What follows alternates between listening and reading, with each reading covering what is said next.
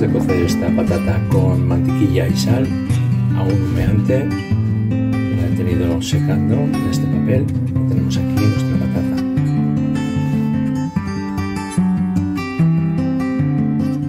Tengo casi cortada toda la patata entera, como veis estoy en caliente, ya debería haber esperado a que enfriara, pero lo estamos haciendo así.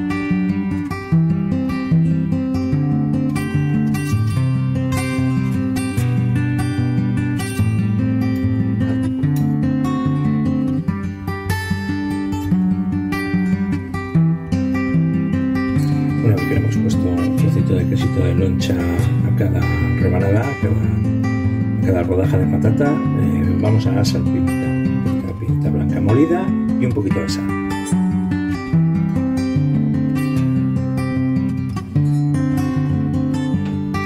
Con la ayuda de una espátula las vamos llevando a otro recipiente.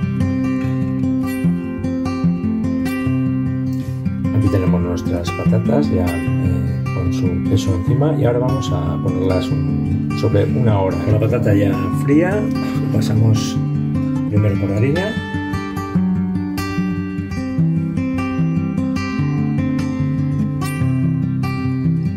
La pasamos por el huevo.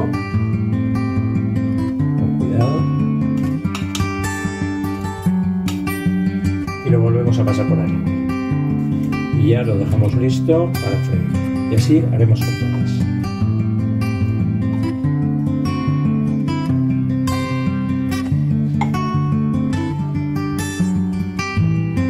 Una vez preparado el rebozado de nuestras patatas, ahora en un segundito nos ponemos a freírlas.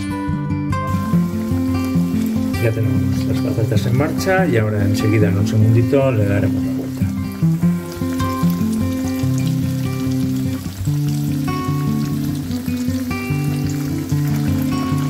Cuando veamos que alcanzan un punto doradito que nos agrada, que nos gusta, como ya la patata estaba cocida, las podemos retirar. Y así vamos terminando de freír nuestras patatas, así que prácticamente tenemos el plato ya resuelto.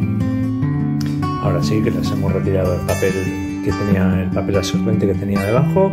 Y aquí tenéis eh, esta receta de patatas con queso, en realidad una patata con, con un poquito de queso.